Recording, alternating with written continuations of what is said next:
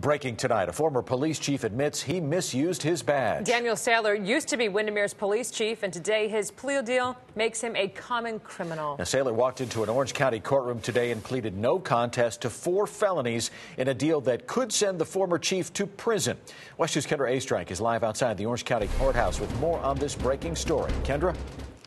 Tim Saylor's attorney is asking for probation and community service for the former disgraced police chief. The judge says with Saylor's freedom on the line, he just needs more time to decide his fate. Now, tonight, the state tells me that it was just too tough to prove the bribery and unlawful compensation charges against Saylor, so they dropped those two charges and decided to make a deal. Now, the former Windermere police chief is pleading no contest to four felonies for official misconduct and tampering with evidence. Investigators say he tried to cover up a case against his friend Scott Bush, accused of molesting two young girls. Now, as part of the plea, Saylor must also surrender his law enforcement certification. Family, friends, and experts are testifying on his behalf at the sentencing hearing to try to keep the longtime law enforcement officer out of jail. He is the only caregiver for his 12 year old daughter who told the judge she'd be devastated without her dad. Saylor himself took the stand and told the judge since he lost his job as the Windermere top cop in January, he hasn't been able to get a permanent job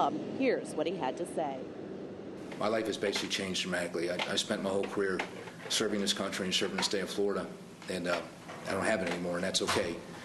Uh, but I did that to myself, and I understand that now, um, that I have to take full responsibility for what happened.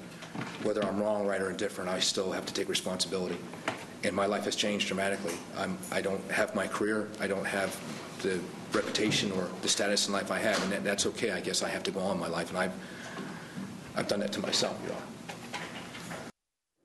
Prosecutors say they may also try to recoup as much as $27,000 in investigative costs. Now, the judge could sentence Saylor to up to 20 years in prison when they're back in court October 14th. Live at the Orange County Courthouse, Kendra Astrike, WESH 2 News.